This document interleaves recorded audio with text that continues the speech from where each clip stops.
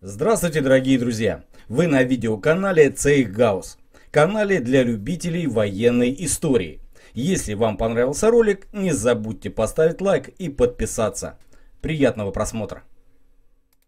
Дорогие наши зрители и подписчики, санкции докатились и до нашего канала. Монетизация отключена. Несколько лет наша команда выпускала для вас по 2-3 ролика в день в формате тележурнала. Теперь нам нужна ваша помощь. На экране вы видите номер карты Сбербанка, на которую вы можете сделать перевод. Кто сколько сможет.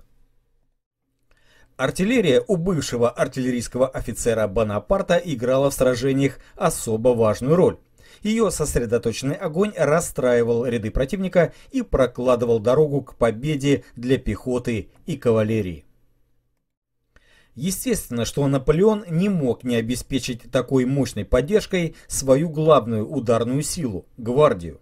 Поэтому в составе императорской гвардии были сформированы и очень активно действовали элитные артиллерийские части, а также другие подразделения, обеспечивавшие отлаженную и бесперебойную работу гвардейских орудий.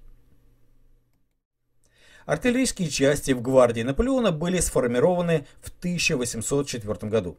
Причем это были подразделения не пешей, а конной артиллерии. Поначалу существовало всего две конные роты, в каждой из которых было 98 человек. Четыре четырехливровых орудия или по другой терминологии четырехфунтовых орудия и две шестидюймовых гаубицы. В апреле 1806 года численность гвардейской конной артиллерии была увеличена. Теперь это был уже артиллерийский полк, состоявший из трех эскадронов, в каждом по две роты. Причем теперь каждому эскадрону, кроме канониров-ветеранов, приписывались 20 учеников-велитов. А в 1808 году в связи с включением в гвардию пешей артиллерии гвардейский конно-артиллерийский полк был сокращен до четырех рот. В это же время был усилен орудийный парк гвардейцев. Теперь в каждой роте было 4 6-фунтовых орудия и 2 гаубицы. В этом составе полк и вступил в русскую кампанию. Условия приема в конную артиллерию императорской гвардии не менее 8 лет службы, участие как минимум в двух кампаниях и рост не ниже 1 метра 65 сантиметров. Служба в конной артиллерии считалась очень почетной и достаточно опасной. Ведь именно подвижные конные артиллеристы постоянно бросались в самое пекло сражения, чтобы обеспечить огневой перевес на важном участке боя. А в случае нужды артиллеристы даже вступали в сабельную рубку с противником. Наверное, поэтому жалование конных артиллеристов было несколько выше, чем у остальных гвардейцев, а их форма особо пышная и дорогостоящая. Парадная униформа гвардейских конных артиллеристов для выделения этого рода войск шилась по образцу гусарской. Доломан, чекчиры и отороченный черным мехом ментик имели темно-синий цвет. Шнуры, галуны, лампасы и выпушки у рядовых красные, у офицеров золоченые. На походе гвардейские артиллеристы носили сюртук и жилет тех же цветов. Головным убором конных артиллеристов служила меховая медвежья шапка с красным шлыком и красным султаном. Пешая артиллерия в гвардии Наполеона была создана в апреле 1808 года и поначалу состояла из четырех рот. В 1810 году их количество увеличилось до 8, а в 1812 году до 9. Тогда же они были объединены в гвардейский пеший артиллерийский полк. Большинство рот состояло из четырех шестифунтовых орудий и двух гаубиц. Но третья и четвертая роты были вооружены шестью 12-фунтовыми орудиями.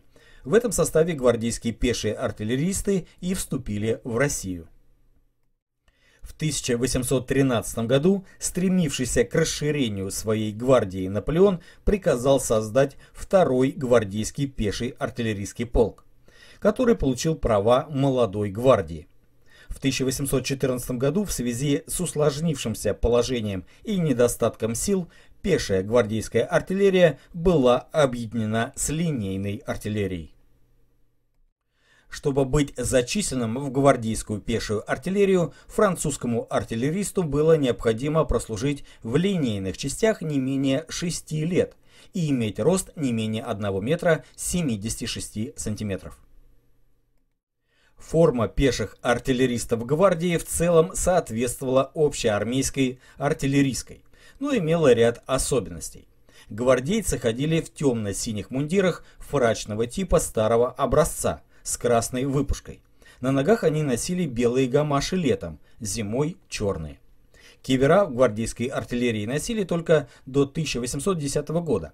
Затем канонирам выдали меховые шапки с козырьком, красным султаном и шнурами. Подвижность и необычайная для того времени маневренность французской пешей артиллерии напрямую зависела от того, что в наполеоновской армии были организованы артиллерийские поезда. Транспортные роты, обеспеченные достаточным количеством солдат и тягловых лошадей, обеспечивавших быстрое передвижение орудий к месту сражения.